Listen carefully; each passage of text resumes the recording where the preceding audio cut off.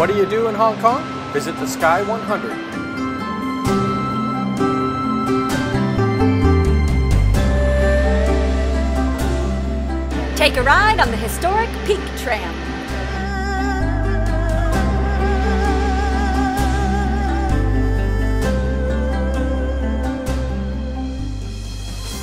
Watch the Symphony of Lights from the Clock Tower in Kowloon. We're walking up to 10,000 Buddha's monastery, and the path is lined by 500 disciples. Be sure to take the cable car up to the village of Ngong Ping on Lantau Island to see the Tian Tan Buddha and the Po Lin Monastery. Cool. Come to Sai Kung, just an hour outside of downtown Hong Kong.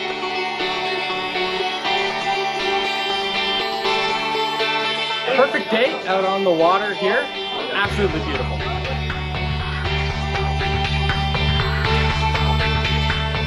When in Hong Kong, jump on the subway. It's cheap and it's easy to use. When in Hong Kong, you must visit Soho to enjoy its many bars and cafes, antique shopping, and a visit to the Man Mo Temple.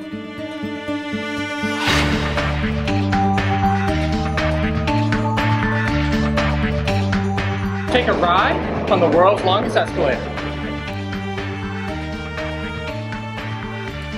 The Tai O Fishing Village is a great day trip where you can experience a more traditional way of life. Take a scenic boat trip, explore the stilt houses, and browse the many fish markets. Wow, that's a lot of dried fish shops. Seafood and dining are a large part of everyday life in Hong Kong, and a visit wouldn't be complete without taking a food tour. The district of Sham Shui Po is an older district of the city where you can taste traditional food, but also explore the markets, old shops, and get to know the locals.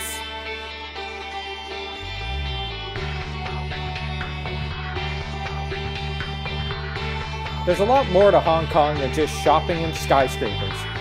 If you step out of downtown, you'll find a thriving outdoor community, a fine dining scene, friendly people, and plenty of culture.